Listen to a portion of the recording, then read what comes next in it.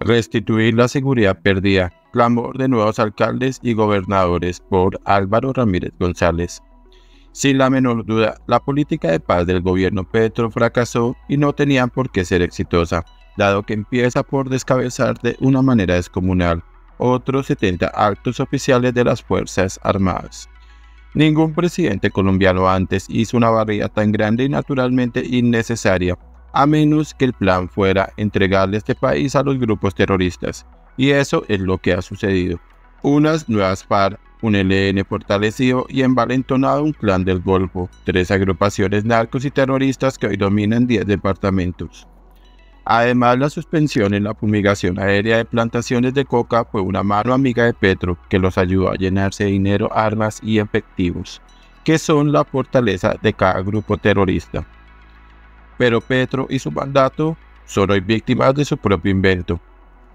La voracidad de estos tres grupos es insaciable y han teñido de sangre a Colombia con un número tan brutal de masacres, 90 en 2023 según Indepaz, de policías y soldados asesinados y de desplazamientos de población civil que tienen con dolor de cabeza hasta el mismo gobierno.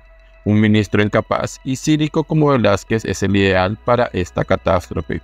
Pueblos enteros del Cauca, 20 y Nariño se están volviendo fantasmas porque esa guerra diaria entre estos grupos fuertemente armados tienen los comercios, los colegios, los mercados y las estaciones de servicio cerrados hace un año.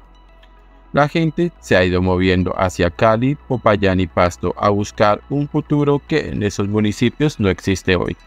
Petro tiene que entender que en el discurso de posesión de todos los nuevos gobernadores y alcaldes el eje central de los problemas está en la inseguridad.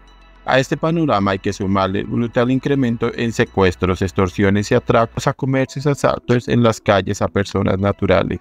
Es un país entero tomado por la delincuencia, el resultado de esa errada política de paz de Petro. Suenan hoy grotescos y ofensivos a un país los anuncios de radio y TV del gobierno, con el remoquete de Colombia capital mundial de la vida. Bogotá, Cundinamarca, Antioquia, Medellín, Valle, Cali, Atlántico y Barranquilla, entre otros más, fueron contundentes en solicitarle al presidente Petro su ayuda porque están físicamente tomados por la delincuencia. Barranquilla y Soledad no conocían un ataque extorsivo y de muerte como el que les llegó con Petro. Gobernantes como Char de Barranquilla y Pico en Medellín anunciaron desde ya una guerra frontal a la delincuencia. La respuesta de Petro es entregarle un millón de pesos mensuales a 250 mil jóvenes sin oficio para que no nos atraquen ni nos maten. Otra decisión equivocada será fortalecer todas esas bandas urbanas. Sobre mesa 1. La decisión de Petro de dividir el país entre alcaldes y gobernadores, amigos y opositores no puede ser más torpe y equivocada. Entre otras porque sus alcaldes, aliados y amigos fracasaron estrepitosamente como Daniel Quintero, Jorge Iván Ospina y Claudia López. Salen los dos primeros como ladrones y rumbo a la cárcel. Unos desfalcos de tal tamaño y una contratación tan vulgar y abusiva que no van a quedar impunes. Y el mapa político de hoy le da muchísima, tres veces más, más fortaleza a los mandatarios que llegaron y son opositores de este gobierno. Sobre Mesa 2, lo que está haciendo Petro con Antioquia, además de conseguirle decenas de miles de nuevos enemigos, va a gigantar más su impopularidad nacional ya muy alta, 70% abusando del poder, atropellando la ley y a los antioqueños no se gobierna, se desgobierna.